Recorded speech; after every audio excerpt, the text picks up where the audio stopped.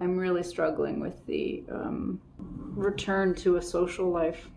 It just doesn't really interest me right now. It's not that I feel agoraphobic necessarily, it's just. I don't know. I'm just not ready.